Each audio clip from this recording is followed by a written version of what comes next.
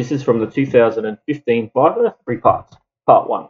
What are the systemic and local factors that lead to atherosclerosis? So for the systemic, uh, hypertension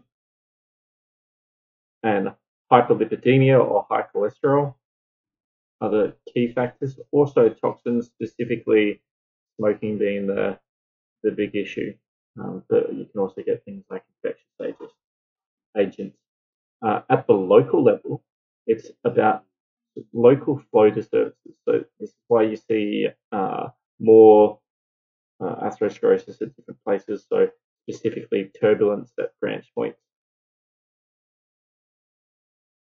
Uh, part two, which arteries are the most affected by atherosclerosis?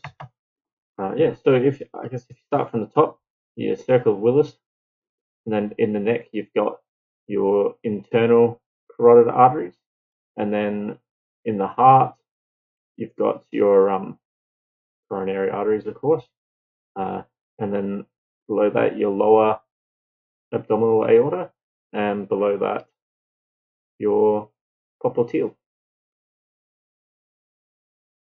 Uh, part three how does a atherosclerotic plaque suddenly cause symptoms?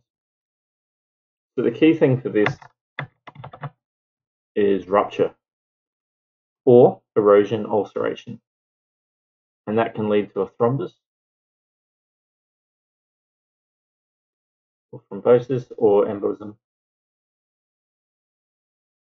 Your thrombosis causing your MI or your stroke uh, the other thing that can happen is if you've got your atherosclerosis can lead to an aneurysm.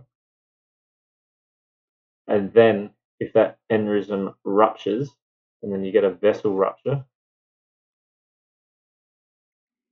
that's the other key way you'll get sudden symptoms.